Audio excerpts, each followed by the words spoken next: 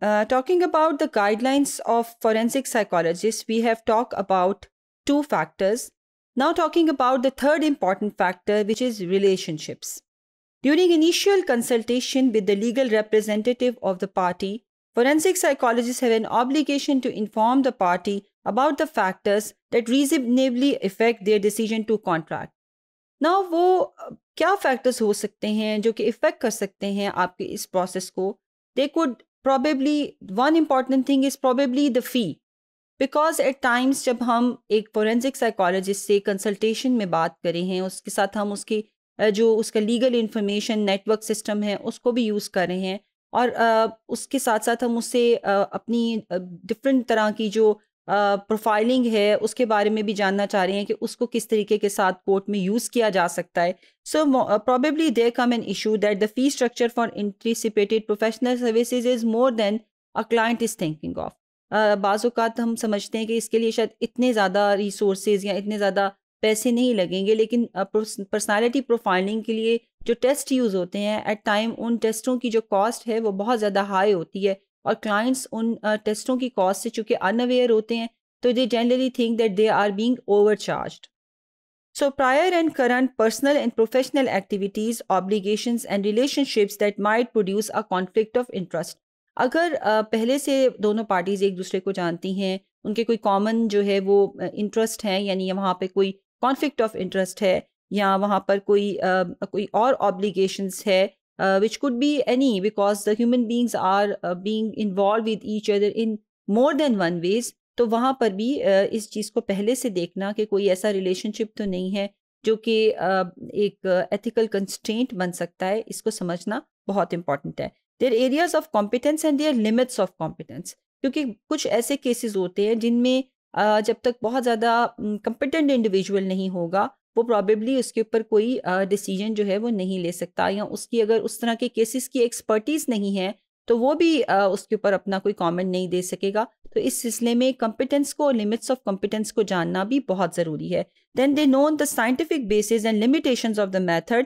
and procedures that they employ and their qualification to employ such methods and procedures when we deal with criminals and then we deal with different kind of machine such as bio feedback and many others we have to see कि क्या उन procedures उन system से जो results आ रहे हैं, उनको employ करते वक्त कितना चांस ऑफ़ एरर है? वहाँ पर हम किन चीज़ों में नॉन वर्बल क्यूज़ को क्वेश्चन दे सकते हैं? कहाँ verbal cues are more important और किस तरीके से हमने एक क्वांटिटेटिव और क्वालिटेटिव पिक्चर को मिक्स करके एक केस की समरी शीट जो है वो प्रिपेयर करनी है।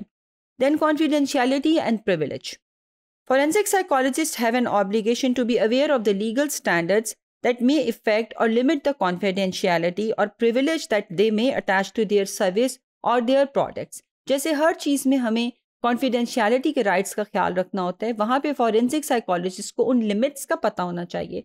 through which they have to deal the case और उनकी कॉन्फिडेंशियलिटी की लिमिट्स जो हैं वो कहाँ तक होंगी they conduct their professional activities in a manner that respect those right and privilege. So, of course, we need to be respectful in, uh, of course, we need to be uh, very vigilant in taking care of other rights, but the law is above all that need to be also taken care of.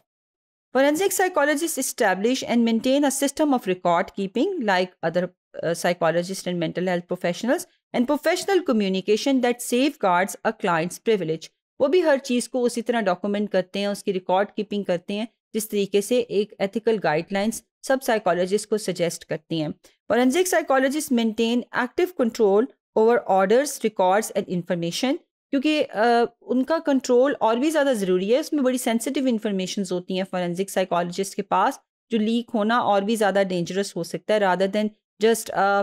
social repute of a person और emotional stability of a person उसमें और भी ज़्यादा legal complications जो हैं वो develop हो सकती हैं अगर उन रिकॉर्ड्स के ऊपर एक्टिव कंट्रोल ना रखा जाए। Then they only release information pursuant to court orders and the with the consent of the client वो इन्फॉर्मेशन जो कि क्लाइंट खुद कहता है कि डिस्क्लोज करनी है या जो कोर्ट ऑर्डर करता है उसके अलावा बाकी की जो इन्फॉर्मेशन है they kept confidential they do not release all that kind of information openly. Then methods and procedures. Forensic psychologists have an obligation to maintain current knowledge to the scientific professionals and legal development Within their area of their claimed competence so इनकी एक obligation होती है कि वो इसको अपने area की जो एक्सपर्टीज़ हैं उसको मेंटेन रखें और उसके बिलो द स्टैंडर्ड वो कोई भी काम ना करें they are obliged and obligated to use their knowledge consistent with the accepted clinical and scientific standards. With the passage of time, the standards of the clinical and scientific psychology has evolved. So, जो current latest standards हैं उसके मुताबिक काम करना in selecting data collection methods and procedures for evaluation, treatment, consultation and scholarly and clinical investigation. हर stage के ऊपर जो लेटेस्ट जो है वो ट्रेंडिंग मेथड्स होंगे उनका ख्याल रखते हुए अपने काम को करना फोरेंसिक साइकोलॉजिस्ट की भी ऑब्लिगेशन है then the public and professional communications Now, how do the forensic psychologists supposed to do public and professional communications? This is very important. They make reasonable efforts to ensure that the products of their services as, as well as their public statements and their professional testimonies are communicated in a ways that will promote understanding and avoid deception. For instance society में बहुत सारे ऐसे cases होते रहते हैं जिसके अंदर uh, जो फोरेंसिक uh, साइकोलॉजिस्ट होते हैं वो अपनी स्टेटमेंट दे सकते हैं लेकिन उनकी जो स्टेटमेंट है, जो अगर वो मीडिया को दे रहे हैं अगर किसी चैनल को दे रहे हैं या किसी रिपोर्टर को दे रहे हैं that need to be given in to the context in to a very careful manner with the permission of court other than they are not allowed to give any statement which can create deception in the society.